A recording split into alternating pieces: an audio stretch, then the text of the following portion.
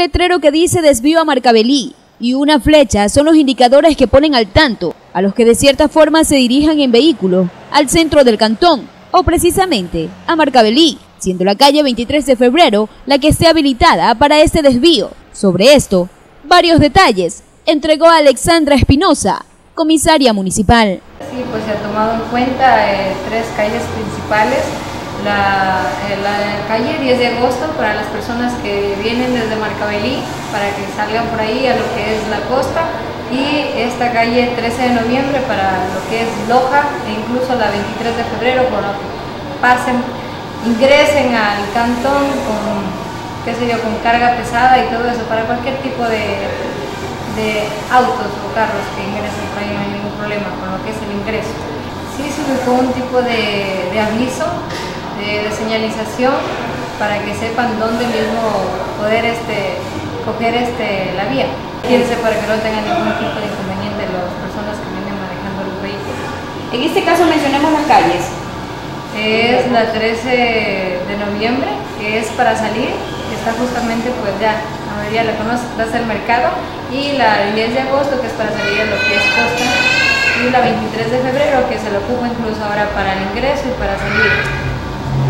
¿Ha visto usted pertinente prácticamente este tipo de desvíos para que no, no haya ningún inconveniente?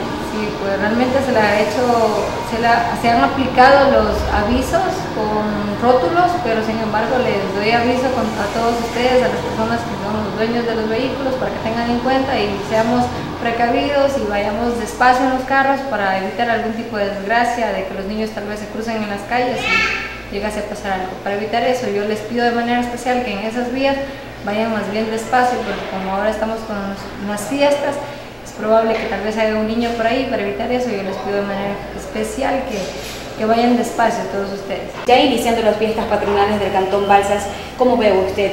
¿Todo se está llevando con total normalidad o ha habido ciertos inconvenientes en este caso? Realmente sí, sí ha habido este, ciertos inconvenientes, pero pequeños, que incluso se los ha podido solucionar. Y sí, sí se está llevando con total normalidad porque no ha habido problemas grandes como para que haya algún tipo de, discusión ni nada por el estilo.